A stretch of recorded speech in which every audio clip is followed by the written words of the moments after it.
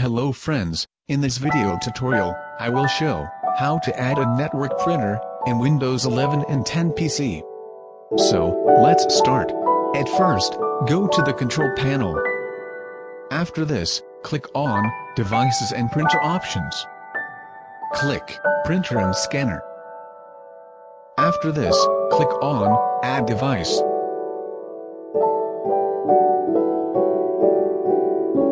Click Add Manually. Now select Add a printer using IP address or hostname. After that, click on Next. Select device type, TCP/IP device.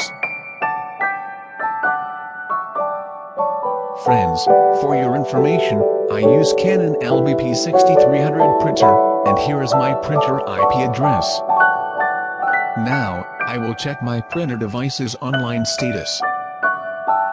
You can see, the same network, when I type my printer IP, I can see my device details in online. I copy my printer IP, and paste in the hostname, or IP address options. After this, click on Next. Friends, for your information, I have already downloaded my printer driver. You also need to download as per printer brand and model. Now, click on Have Disk, and show my downloaded printer driver file. Select as per your operating system bit.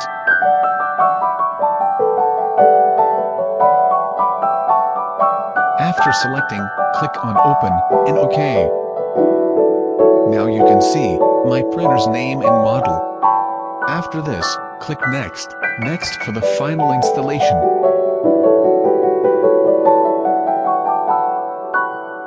Setup done, select Do Not Share your printer. If you need to share, then select Share Printer Options. After this, click on Finish. The network printer setup is done. Again go to the device and printer options, from the control panel. Click, Device and Printer.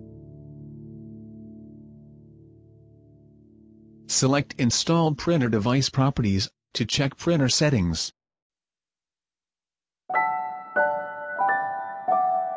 You can page setup from these options. To set a default printer device, click on More Device and Printer Settings. After selecting the installed printer, click the right button Set as a default, and click OK. This printer setup as a default.